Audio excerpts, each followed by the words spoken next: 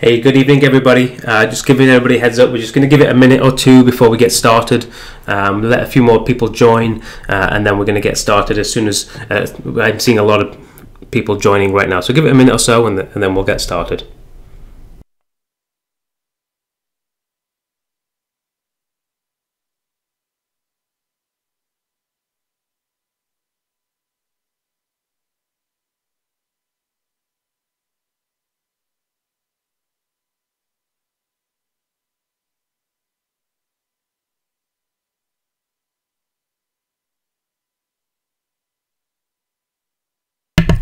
It's nice to see a few familiar faces on the call, uh, familiar names. I'm seeing uh, some of our great past clients. Uh, so, Andrew, nice to see you on there. Nick, Nick, thanks for joining us tonight. Hey, Ricky.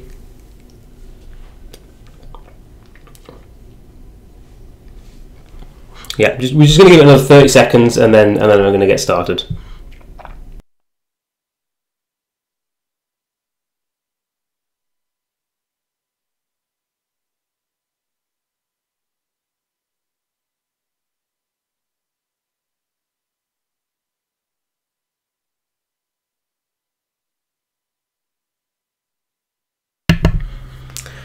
All right, good evening, everybody. Uh, I want to thank everybody for taking the time this evening to join us and uh, for a special early look at the United Building at University in Dundas. Uh, it really is one of the most exciting condominium projects of the year, and we're excited to, to be involved in this one and, and to share some early information with you. Uh, tonight, we're going to try our best to educate you on why we think that this is going to be a very special project uh, and talk about how you can be one of the first to invest in this condominium.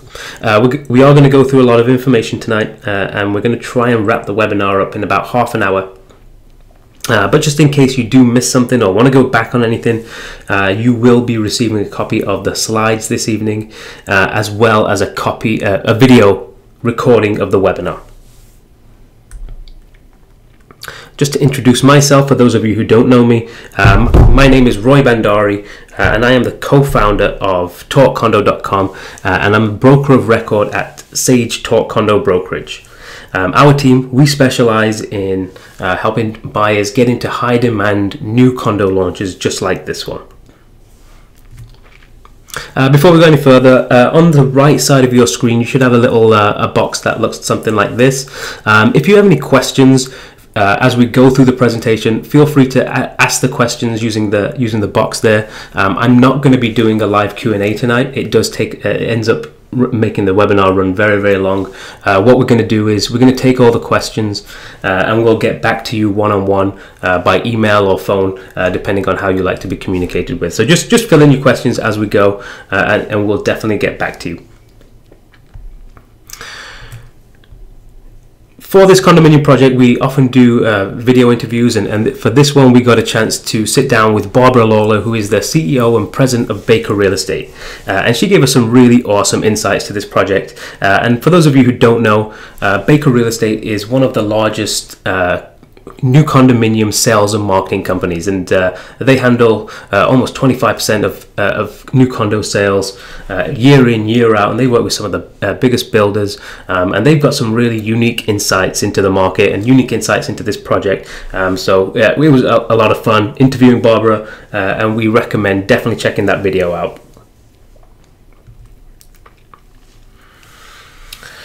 So, this evening, we're obviously going to talk about uh, the United Condos at University in Dundas, uh, but we do want to highlight that this is a preview webinar. Uh, this condominium has not yet launched and it will not launch until next Wednesday, March the 27th. Uh, that will be the first day that we uh, get the re- full release of floor plans and pricing. And we typically run these pre-launch webinars for condos that are very, very high in demand. Uh, and the reason is is because it helps you get some key information on a condo project ahead of time so that you're prepared for the launch. In new condos like this, where demand is usually higher than supply, um, we find that buyers who are prepped in advance typically have the most success in securing the suites that they want. So here's a couple of reasons that we're giving you this information a week ahead of time. The first is obviously uh, that the early demand for this condominium has been very high. we come to expect this, especially for condo launches in the downtown core uh, in these AAA locations. The second reason, and probably the most important reason for us running this webinar a week before the condo launches, and it's something I alluded to earlier, but it's because we really believe that buyers who are well prepared before the project launch, before the project actually launches, are the ones that are going to be the best placed to secure their suites. So hopefully tonight we're going to go through a lot of information, but it gets you one step closer. But here's what not to expect tonight.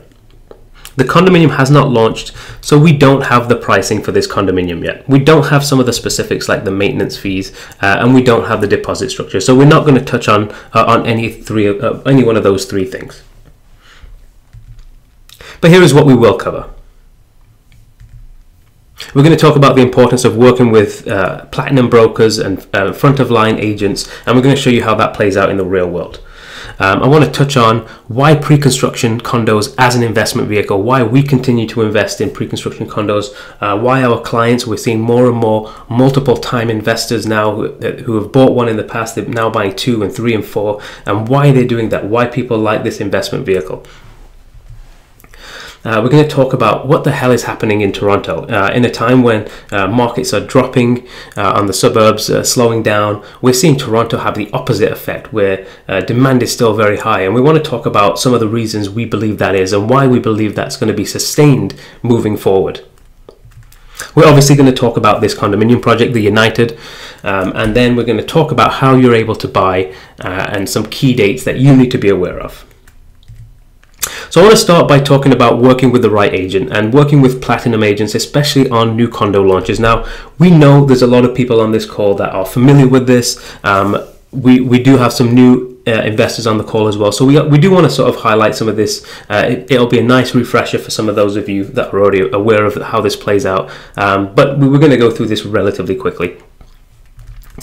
So our team, we have been pre-construction condo brokers, me, myself, and my brother Amit, uh, for the last 10 years, and we operate one of the largest new condo portals on the internet, uh, which is talkcondo.com.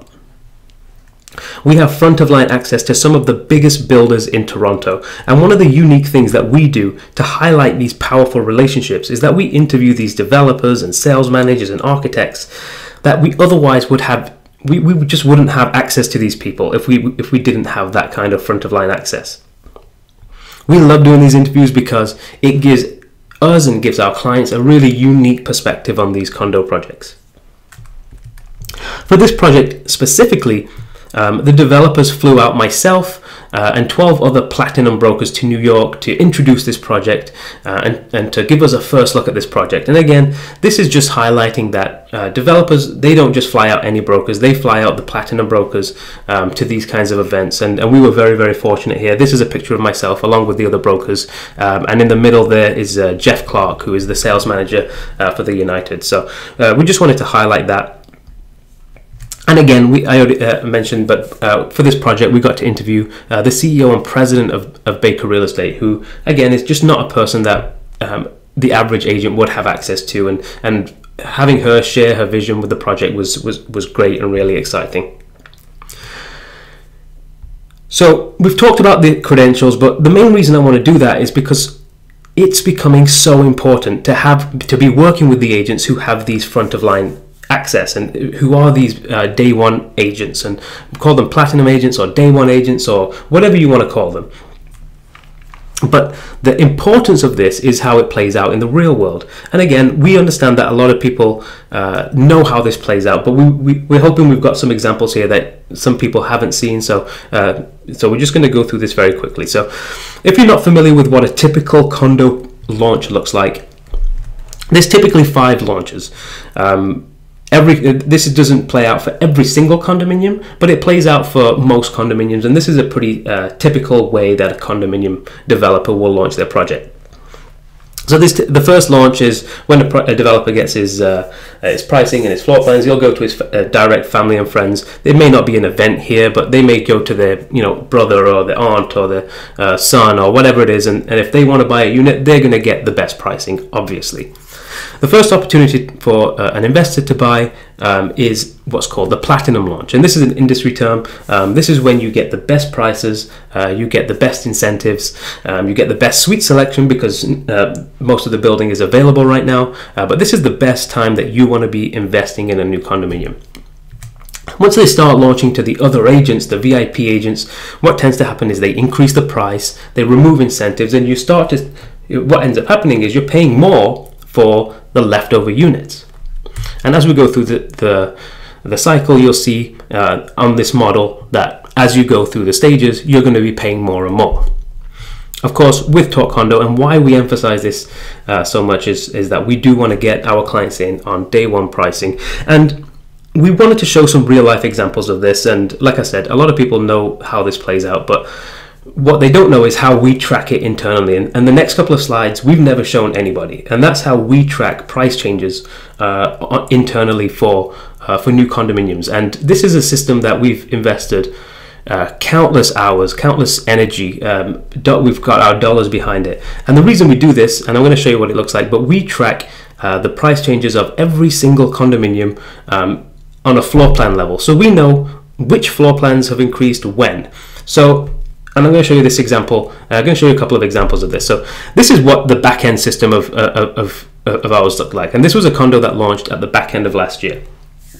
And if you look at the bottom there, there's, a little section called price history, uh, and and this is this is the price history of this floor plan. Now this data is all collected manually. Um, this is talk condo data. This is not some industry data that we tap into. Um, the reason we collect this data is so that when we sit down with clients and when we when we um, emphasize the importance of buying day one, we can back it up with real data. So this is an example of, uh, of a condominium that launched at the back end of last year. We can see here, this is the day one pricing. Uh, in this example, it's 662,000 to buy this uh, buy this uh, two bedroom unit, and then on November the 11th, which is uh, about three weeks, two weeks later, there was a $51,000 increase for this unit. Exact same unit. Um, the only difference here is that you're buying not on day one, you're buying on day two or the VIP launch. Um, and then if you look again here, we see that this particular unit, before it was tagged sold out, there was one more price increase, uh, which was uh, set, it jumped to 735,000 uh, on December the 5th. And if you see this, um, you see that the, the pricing escalation of this particular unit uh, was huge. So just missing that boat by a few weeks, uh, you're paying uh, over 10% more, much more than 10% more for the same unit. I did want to show uh, one more example of this. Uh, this is another unit that this was a one bedroom unit, um, just that launched just uh, a month ago. Uh, here we see the day one price, and This is the platinum price, and then two weeks later they did the uh, the VIP launch, and you can see here there was a twenty-seven thousand dollar increase uh, for the exact same suite. and again, this is just highlighting that importance. And I do want to show one more example, not to harp on this too much, but the reason I want to show this next example um, is because so this is this is an example of a project that launched in 2015. So we don't just have this data in our system for you know something that's just launched a, month ago or two months ago or three months ago. We actually have this data going back years and years and years. So for projects that have gone through the entire life cycle, we can see uh, what that looks like. And, and this was a this is actually a project called One Yorkville, which launched many many years ago. Um, and this is the pricing of a one bedroom, and we can see here that um, in back then when the when the market wasn't moving as aggressively as it has been, um, we can see that there was a big price jump of seventy three thousand uh, dollars a few months after day one. Now, the reason I want to bring this up is that uh, our sample size for data on, on this importance of buying on day one is not small. We, we go back years and years and, and, and we see this trend time and time and time again. So this is something that's really important um, and it's, it's a very, very important concept to understand. So the next one uh, we want to talk about is pre-construction condos as an investment vehicle. Now, we talk a lot about the, about this concept of getting wealthy using other people's money. Um, it's, it's the, the the idea behind um, leveraging your money to to grow your wealth uh, is one of the biggest reasons that we believe uh, new condos is, is such an incredible incredible investment vehicle. And anybody who's gotten wealthy by investing in real estate will understand this. It's a fundamental, um, and it's. I'm not reinventing the wheel here, uh, but I do just want to highlight this because I think it's it's it's very very unique. So here's an example of um, what uh, and I'm going to break this chart down and, and, and, point to what you need to be paying attention to. But uh, what I want to show here is is under the assumption that you've purchased a, a condominium for six hundred thousand dollars what that equity growth would look like over the lifetime of construction. So, what's unique about new condos is that um, on a $600,000 purchase, the equity that you're required to put up during construction is only 20%.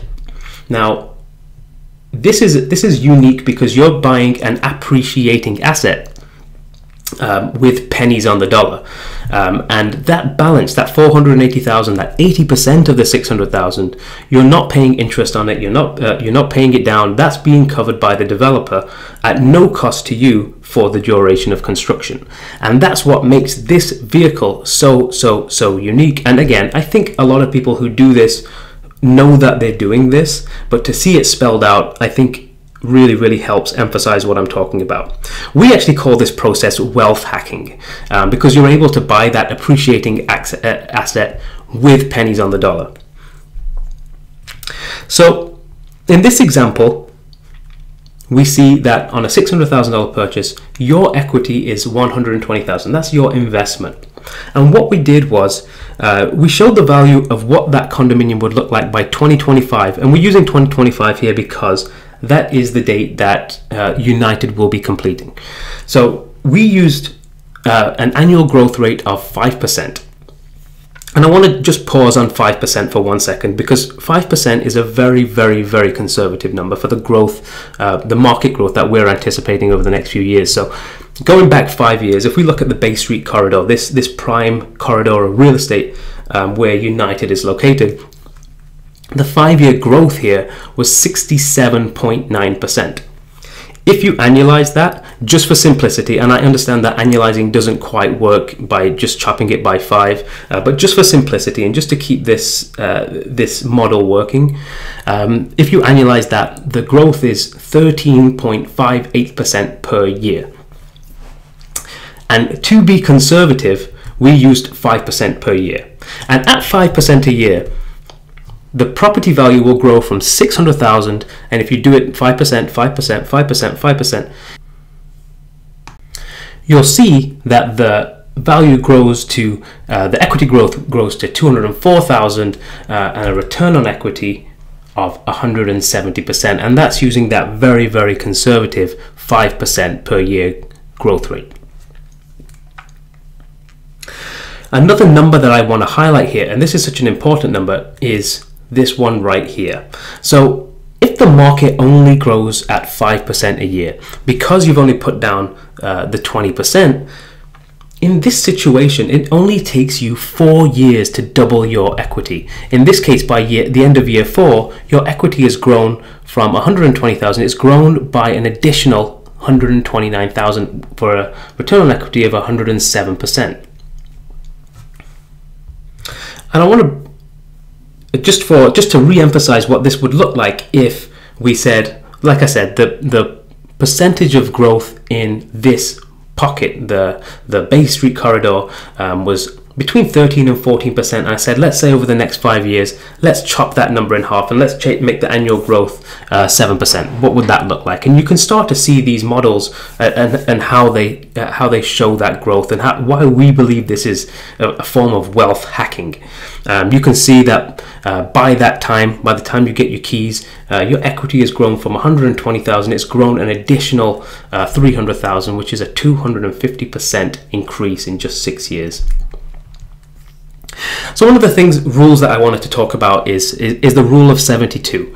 Um, and the rule of 72, um, if you're not familiar with this uh, investment rule, um, is that if you take 72, you divide it by um, divide by your investment percentage, it will tell you how long it takes to for an investment to double. So for example, if you have a return on investment of 10% per year, you would take your 72, you would divide it by 10, and it will tell you it takes 7.2 years to double. Now, what we wanted to do is let's say let's say you bought a condo, but you also you have this hundred and twenty thousand, and you have a few different options of, of how to invest that money.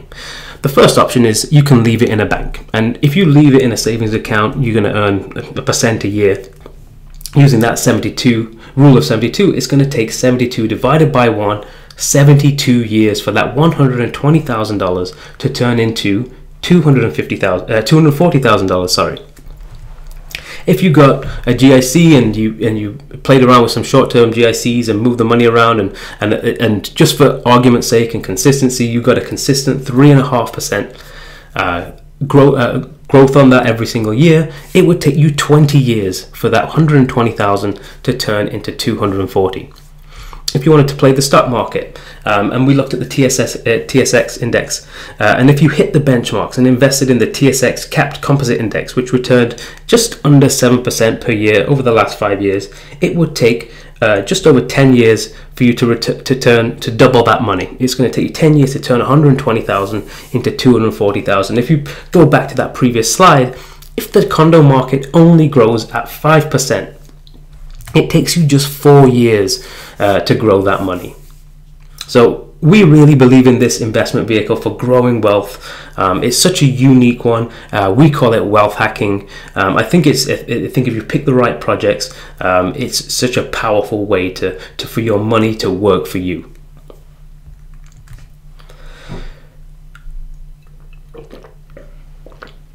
so next, we want to talk a little bit about what the hell is happening in Toronto?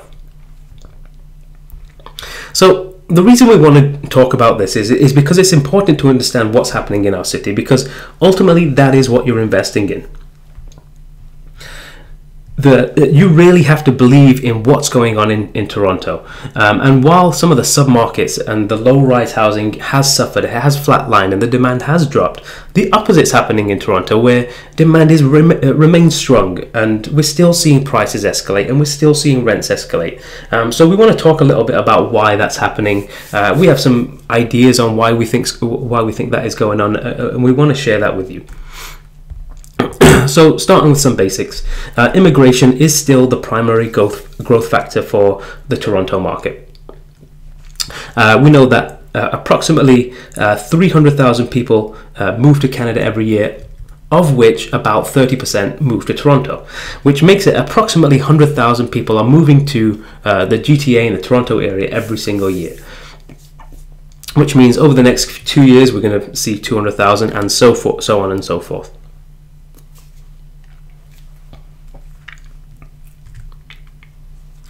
We're also in this unique time where we have got this uh, really unique situation. Uh, we call it a perfect storm, and we're going to talk about what that means. Vacancy rates we know are already below 1%. So we know that what's built in Toronto right now, it's already occupied. There's not much more. Uh, we don't have uh, an abundance of empty, uh, empty uh, condominiums. And what's happened is that over the last few years, the OMB, the change from OMB has been huge. What we're talking about here is the reason that the demand is, the, the supply side is being affected. Um, so in 2008, uh, the OMB was replaced, and what I'm not, what I'm not gonna spend a lot of time and talk about what the OMB system is, but essentially the OMB was the mechanism which builders used to get their condominiums approved. And under the old system, I've talked to countless builders, and what they've told me is that under the old system, uh, from the time they make their application it can take 12 to 18 months to get an approval in place. Under the new system, since they removed OMB, um, it, that can that time can double and can in fact in some places take uh, up to three years to, to get an approval in place. And I don't think we're really seeing the effects of this yet. But we are going to see the effects of this in the next 12, 24, 36 months. Uh, because what we're starting to see is all those sites that were purchased that should be coming to market this year are not going to be coming to the market for uh, a year from now or two years from now. And we're already feeling that on the ground level because normally we see a lot more new condo launches in the downtown core, whereas this year it's been very limited. And looking forward, it's going to be very limited because all the sites that have been tied up, we're just not getting the approvals for them in time. So we've got this situation where the supply is actually being shrunk. And in the, in the next few slides, I'm actually going to show you why demand is actually going up at an all-time high. So one of the biggest growth growth spurts that we've seen in Toronto over the last few years is the tech industry.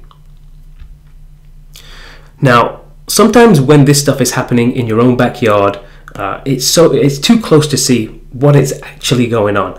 Um, so in this graph, what, what I wanted to show here was uh, the amount of tech jobs that were added in Toronto. This is in 2017, but Toronto was the number one city for, for new tech jobs being added.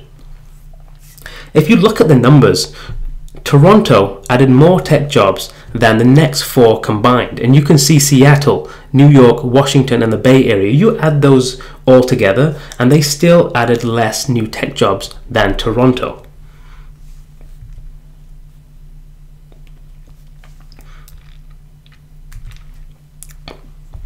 There's countless articles out there that talk about this this phenomenon that's going on, um, and some of the companies that are coming into Toronto uh, Google, Microsoft, Uber, uh, Intel, Pinterest, uh, Shopify, Nvidia, uh, the, the, list goes on. Thales, Ecobee, AMD.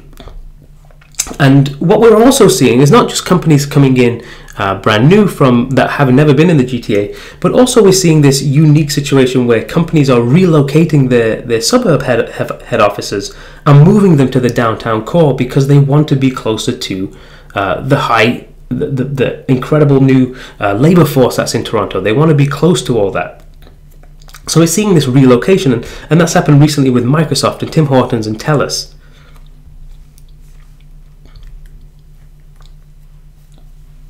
So this is just a, a, quick rundown of what we've already talked about. Um, but as we started to look at this, um, what, what became clear was that, uh, and we're always looking at Toronto versus other cities and saying, is it, uh, uh are we New York, are we this? But and we're always trying to uh, say uh, grow towards being other cities. But what we're starting to see is a lot of parallels uh, with San Francisco. Now, when we started looking at San Francisco, um, we saw this quote in the Business Insider, and it says there's a direct correlation between these price hikes that they experienced in San Francisco and the tech industry's ever expanding presence in Silicon Valley. The tech behemoths like Google, Facebook, Apple, they all operate out of the Bay Area and recruit a, lefty, a lofty volume of high earning workers that need to find living quarters here. Uh, the workers' high salaries combined with the city's already dwindling house supply have spawned an, an, affordability crisis within the real estate market, jacking, jacking up home values to an astronomical degree. And this rings so true to what is starting to happen in Toronto. We have this situation where the dwindling supply is happening at the same time that all these tech giants are coming into the city at a very rapid rate.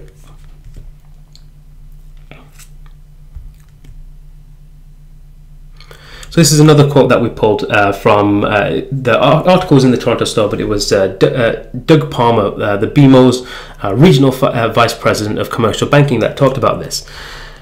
So he said there's roughly 241,000 tech jobs in the GTA, making this the fourth largest tech hub in North America, and that's no small deal. and it's also the fastest growing. That's the key line here, the fastest growing. A relatively open Canadian immigration policy has helped attract tech talent to the GTA that could otherwise have ended up in Silicon Valley, Seattle, and DC. So again, this is just a quick slide showing uh, some of those uh, so, some of those companies that have that have come into Toronto, and um, just to give you an idea of the size of the investment that these companies are making, they're huge. Uh, Microsoft just announced a $570 million investment, uh, bringing uh, 500 new full-time jobs.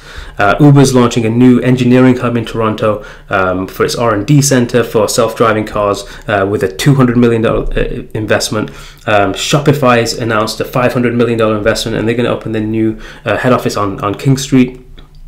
Um, but so th- these numbers are huge uh, and they continue to come at a very rapid rate.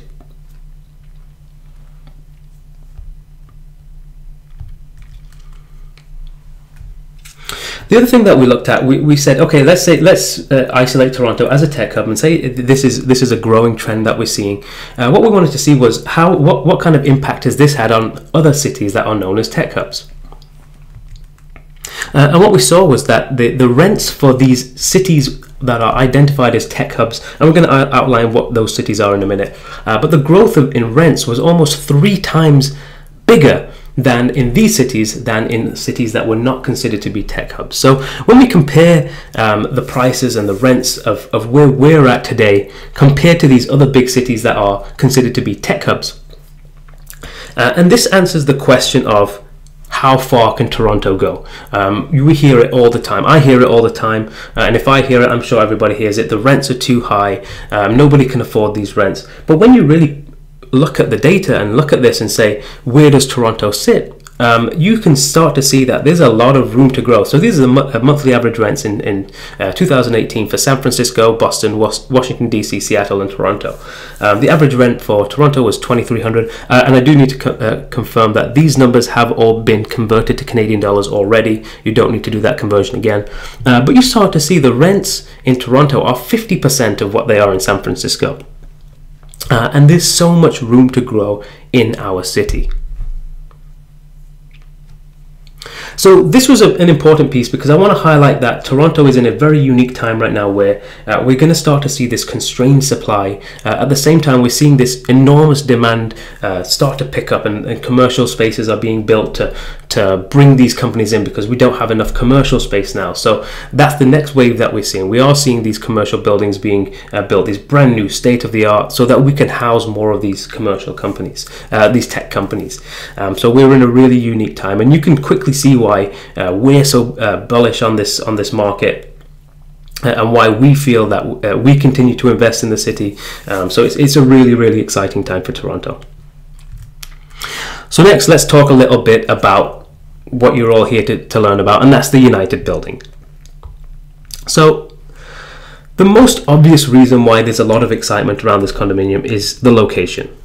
It really, really is a true AAA, really offered location, and it's got direct access to the uh, to the subway. So there's a lot about what makes this location very special. Um, it's located on at University in Dundas, which you can see on the map here, and University is an interesting street because it's a major road. It's got the subway underneath it, but it doesn't have a lot of residential condominiums. Uh, in fact, most of the land here is designated for other uses, for commercial, for the arts, for the culture.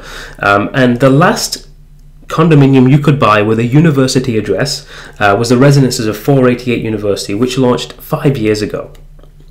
Uh, the other popular condominium uh, on University Avenue is the Shangri-La Residences, uh, but we also wanted to highlight some of the things that really make University Avenue uh, special and unique, and these are the things that, as investors, we should be hooking onto. So we are close proximity uh, to five major hospitals: uh, Toronto General, Mount Sinai, the Hospital for Sick Kids. These are at your doorstep.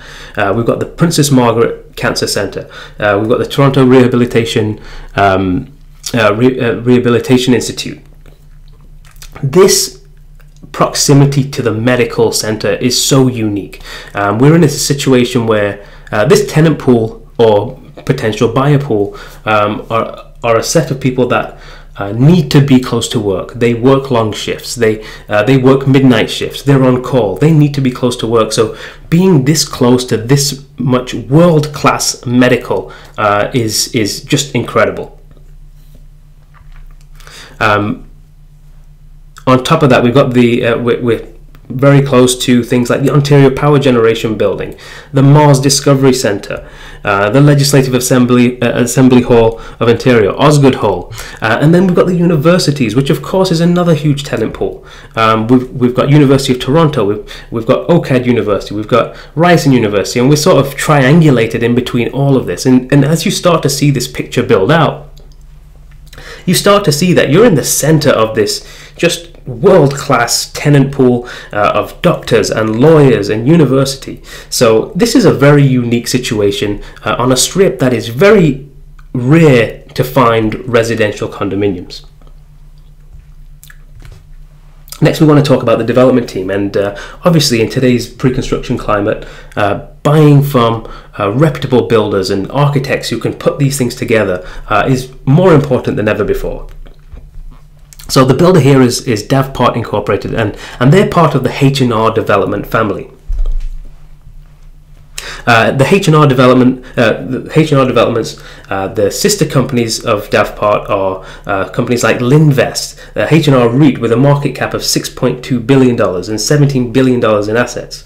A very popular residential builder called Lanterra that you may have heard of. Uh, Marlin Springs, Altry. So they're part of these, um, part of this family of companies um, that does billions of dollars in real estate. And Davpart, uh, for the longest time, was the commercial and retail arm of this uh, of this company. Uh, and over the years, they've collected uh, some of the most incredible sites, and this is one of them, University uh, and Dundas, um, as commercial buildings. Another location they own is 1 Eglinton East, which is the, the southeast corner, of the CIBC building at Yonge and Eglinton. Uh, they own land above uh, the office building above the Davisville subway station. So they've amassed over 90 commercial properties over the years and uh, are now converting them into condominiums. And they're doing so with the expertise and the uh, of, of, the this rich uh, history of H&R developments and, and all the sister companies that go along with it. We're also going to talk about B&H Architects.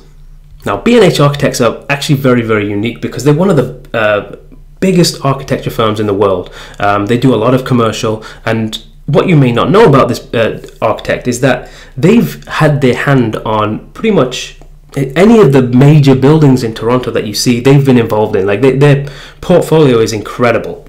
Um, they were involved in uh, the, the first Canadian Place, which is the tallest tower in Toronto, which is the BMO Tower, the white one in the middle. Uh, Eaton Centre, RBC Tower, uh, the Ripley's Aquarium, CN Tower, um, and so much more. The, the, the, Royal Ontario Museum, they were involved in the restoration of that, which is going to become important because of the, the, uh, the restoration component of this building. So we're dealing with one of the biggest companies, and this is just a, a small sample of some of the buildings that they've worked on. Uh, I just wanted to highlight some of the ones that you may have been aware of uh, within that skyline. So, United Building, the key features of this uh, sorry, uh, of this uh, condominium is that it's located on the northeast corner of University in Dundas.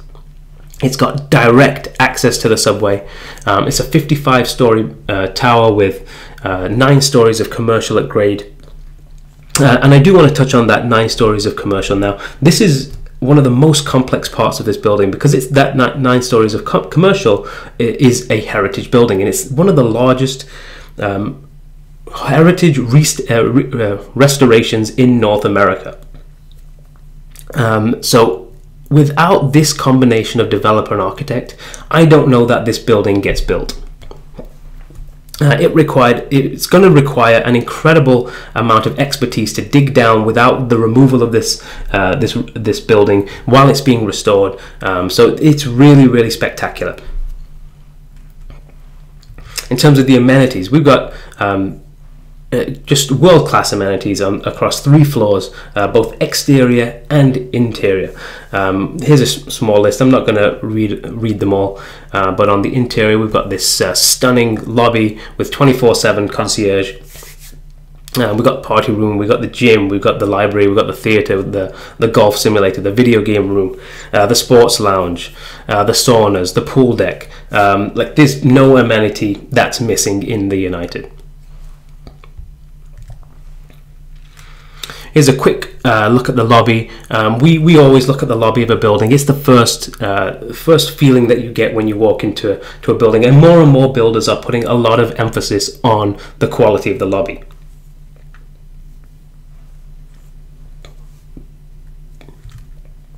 Here's just a shot of some some of the outdoor terrace space. Uh, this is on the tenth floor, which would be on the roof of the uh, roof of the commercial space. Um, Uh, again, this goes back to what we talked about before. Um, a typical build for a new condo is about four years, uh, but here we've got six years of development uh, construction time. And because this is such a complicated building, we're able to use this to our advantage.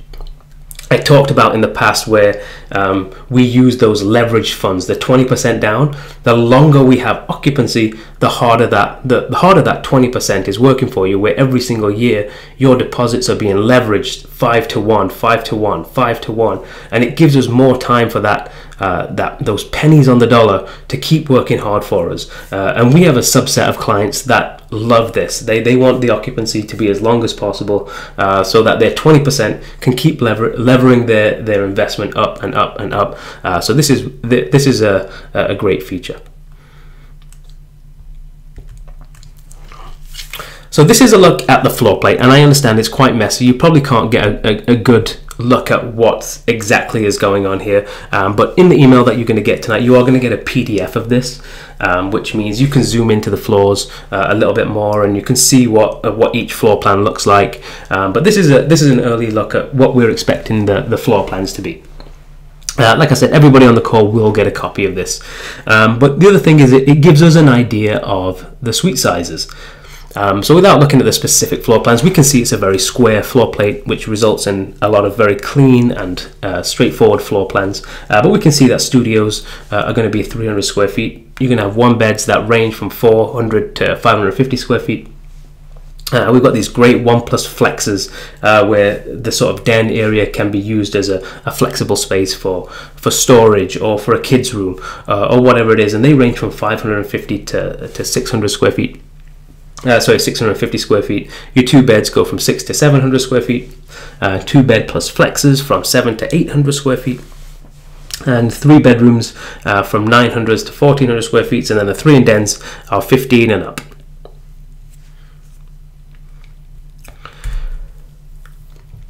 So we're going to talk a little bit now about how you're able to get a, a condominium at the United. Uh, we're going to talk about some key dates uh, and and the process of what that looks like. So next week, as I've already mentioned, uh, on March 27th is the Platinum VIP broker launch, and th- that's when uh, our team is going to go in and get the floor plans and get the prices, and that's when we're going to be in touch with you. And and uh, for, uh, in the in the coming days, we encourage you to reach out to us if you're on this call and you're interested uh, and you want more information on this condominium. Reach out to us, send us an email uh, have us uh, get on the phone with us uh, talk about the some of the some of the things that you're looking for, so that we can we know ahead of time uh, and we can help coordinate all that. Uh, we'll receive the floor plans and prices around noon, uh, and we should have all the assets ready to go for for later in the afternoon. On March the 28th, the following day, this is when we're going to have our uh, our private VIP client event. And this is when you can come down, you can meet with the team, we can go through the floor plans and prices in detail, we can give you our suggestions on the units that we think are great in this building. Um, and this is the day that you'll be able to submit your suite uh, reservation forms in person. Um, so we'll be holding these meetings throughout the weekend. Uh, March 28th will be the first day, and everybody on this call will get an invite to that. So, like I said, between now and March the 27th, uh, we want you to be as prepared as possible. Uh, if you have any questions or feel like we've missed anything on the webinar tonight, please reach out to us directly. You can use the chat box uh, on the side, uh, ask the questions, ask whatever questions you have. Um, you all have our email addresses. If you're on this call, you, it means you received our uh, our email to, to, to join the call. So hit reply on the email and and we'll get back to every single person one on one over the coming days. So that's everything we have for tonight. We want to thank you immensely for joining us this evening, and we cannot wait to work with you at United Condos.